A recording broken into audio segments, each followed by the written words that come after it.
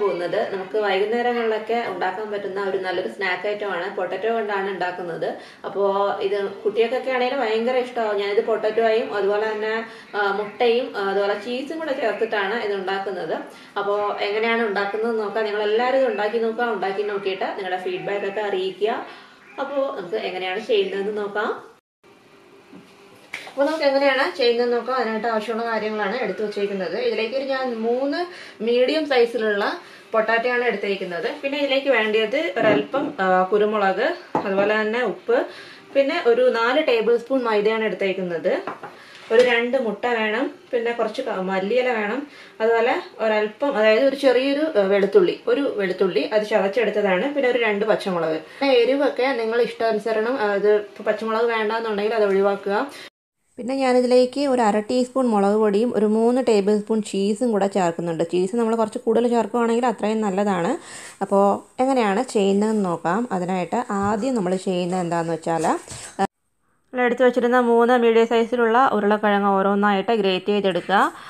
ഇതുപോലെ അല്ലാന്നുണ്ടെങ്കിൽ ചെറിയ ചെറിയ പീസുകളായിട്ട് എത്രമാത്രം ചെറുതായിട്ട് കട്ട് ചെയ്യാമോ അത്രമാത്രം ചെറുതായിട്ട് കട്ട് ചെയ്തെടുക്കുക. അല്ലാന്നുണ്ടെങ്കിൽ ഇതുപോലെ തന്നെ ഒന്ന് ഗ്രേറ്റ് ചെയ്തെടുക്കാവുന്നതാണ്.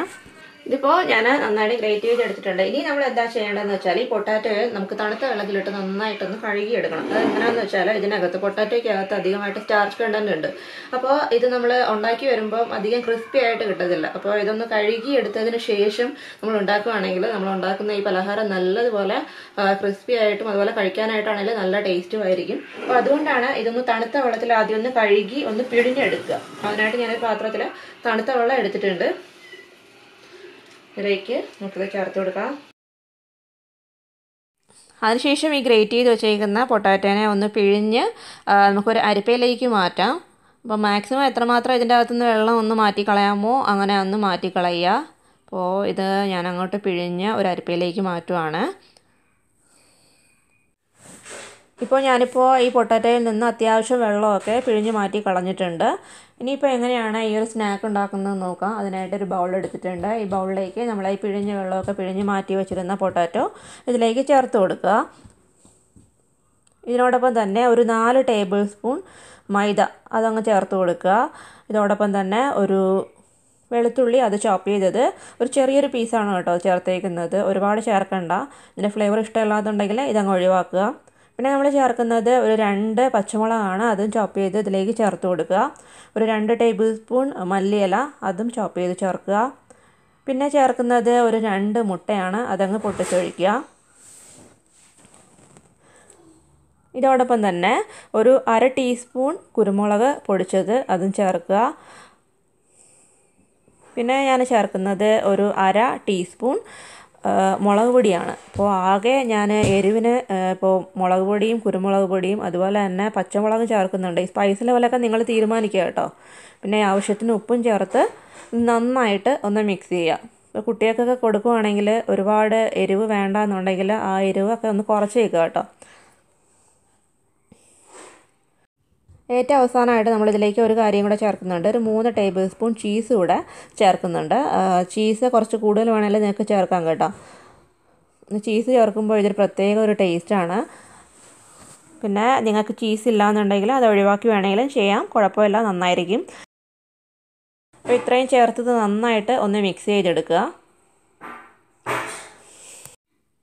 അപ്പോൾ ഇത്രയും മതി. ഇപ്പോൾ നന്നായിട്ട് ഞാൻ മിക്സ് ചെയ്തെടുത്തിട്ടുണ്ട്. ഇനിയിപ്പോൾ നമ്മൾ എന്താ ചെയ്യേണ്ടതെന്ന് വെച്ചാൽ ഒരു പാൻ സ്റ്റൗവിൽ വയ്ക്കുക. അതിലേക്ക് ആവശ്യത്തിന് ഓയിൽ ഒഴിച്ച് കൊടുക്കുക. ഏകദേശം ഒരു മൂന്ന് ടേബിൾ സ്പൂൺ ഓയിലോളം നമുക്ക് മതിയാകും അപ്പോൾ ഞാനിപ്പോൾ ഇതിലേക്ക് സൺഫ്ലവർ ഓയിലാണ് എടുക്കുന്നത്.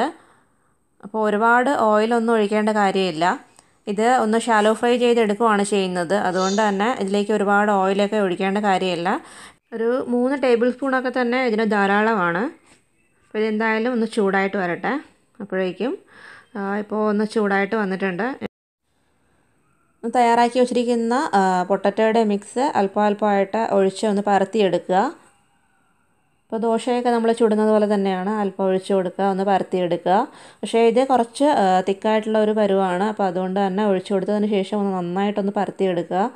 കട്ടിയായിട്ടിരിക്കുവാണെങ്കിൽ ഉൾഭാഗമൊക്കെ വേവാനായിട്ട് കുറേ സമയം എടുക്കും. അപ്പോൾ അതുകൊണ്ട് തന്നെ കുറച്ച് പരത്തിയെടുക്കുക. അപ്പോൾ ഇതുപോലെ തന്നെ ബാക്കിയുള്ള മാവും ഒഴിച്ചു കൊടുക്കുക അതുപോലെ തന്നെ ഫ്ലെയിം മീഡിയം ഫ്ലെയിമിലാക്കാനായിട്ട് പ്രത്യേകം ശ്രദ്ധിക്കുക കേട്ടോ. ഇല്ലാന്നുണ്ടെങ്കിൽ അത് പെട്ടെന്ന് കരിഞ്ഞു പോകും കാരണം ഇത് പെട്ടെന്ന് തയ്യാറാക്കി എടുക്കാൻ പറ്റുന്ന ഒരു സ്നാക്കാണ്.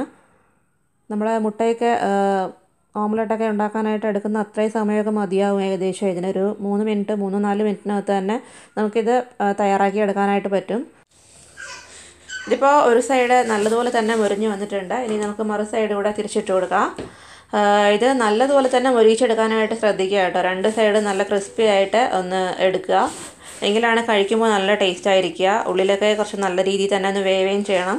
പക്ഷേ പെട്ടെന്ന് ആവുന്ന ഒരു കാര്യമാണ്. അങ്ങനെ പൊട്ടറ്റോ സ്നാക്ക് റെഡി ആയിട്ടുണ്ട്. ഇനി നമുക്കിതിനെ ഒരു ടിഷ്യൂ പേപ്പറിലേക്ക് മാറ്റാം. അപ്പോൾ അധികമായിട്ടുള്ള ഓയിലൊക്കെ ഉണ്ടെങ്കിൽ അതങ്ങ് മാറിക്കോളും. നിങ്ങളെല്ലാവരും ഇത് ഉണ്ടാക്കി നോക്കണം. എന്തായാലും എല്ലാവർക്കും ഇഷ്ടമാവും കേട്ടോ.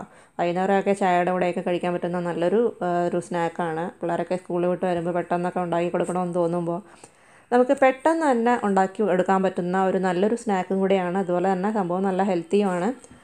അപ്പോൾ എല്ലാവരും ചെയ്ത് നോക്കുക. ചെയ്ത് നോക്കിയിട്ട് നിങ്ങളുടെ ഫീഡ്ബാക്കൊക്കെ അറിയിക്കുക കേട്ടോ. അപ്പോൾ അടുത്ത ദിവസം മറ്റൊരു നല്ലൊരു റെസിപ്പിയുമായിട്ട് നമുക്ക് വീണ്ടും കാണാം. അതുവരേക്കും ബായ് താങ്ക്